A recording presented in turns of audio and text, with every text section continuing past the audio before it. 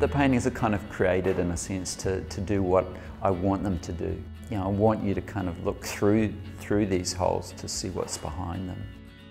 And I want you to kind of have a sense of uh, you know, what that might be like.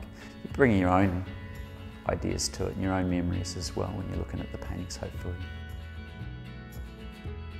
The first time I went to the desert, I went to do a, a, a kind of a tiny residency in Alice Springs and uh, I went to um, Serpentine Gorge. At that time I wasn't that prepared. I went, I had like, you know, my jandals on, uh, flip-flops and, uh, you know, and I, and I went swimming through this gorge which was freezing.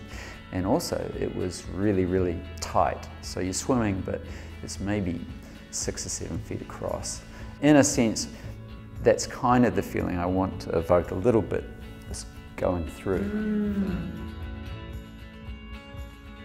Obviously the negative space, that the large white negative spaces are very important in your works. They, they pop up in, in almost every one. Yeah, I guess in these ones I'm kind of compressing that space a little bit to bring it into the centre. That's something I really haven't done before so much. Uh, and I've been creating these uh, bands of light that come across the pictures. I, you know, that's another thing that I've done a little bit of, but in these paintings that's become a more important feature.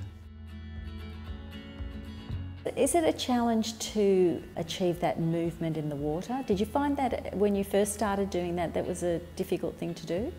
I absolutely think it is a difficult thing to do, but at the same time it's a really rewarding thing to do.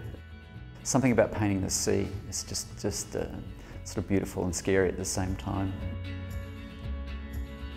You're searching for a landscape that, that has drama? Yeah, a, landscape that has that sense of danger about it and that you have that kind of feeling with it. And it's, I mean, that's kind of, I guess it sounds a bit ridiculous to say that, but that's what I'm trying to achieve. Whether you can achieve it or not, I don't know, but that's what I'm trying to do. You know, it's ideas about a very active, very dangerous uh, world that we live in and trying to make you see that you're just a tiny part of it, you know, you're not kind of in control.